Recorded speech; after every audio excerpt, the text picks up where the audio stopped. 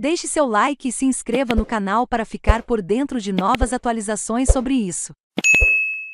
Acusado de fake news, Gregório do Vivier bate boca com Ciro Gomes. Vídeo. Acusado por Ciro Gomes, PDT, de propagar fake news no programa Greg News, HBO, Gregório do Vivier, trocou farpas com o pré-candidato à presidência da República.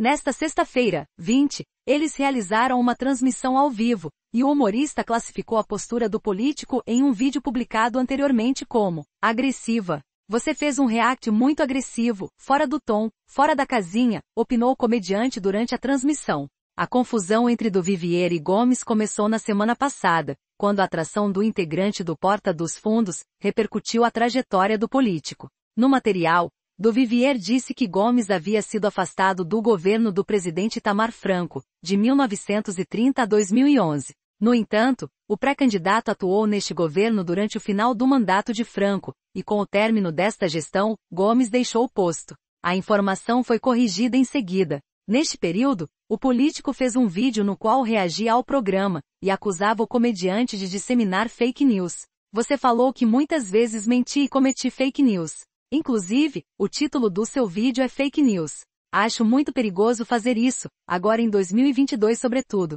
Quando alguém comete um erro factual e se retrata imediatamente, você chamar aquilo de fake news e mentiras é muito ruim, argumentou do Vivier. Do ponto de vista de um político, meu patrimônio é o meu bom nome. Ali tem muita insinuação, falsa mesmo, rebateu Gomes. Ao longo da transmissão ao vivo, Ciro Gomes cortou Gregório do Vivier inúmeras vezes.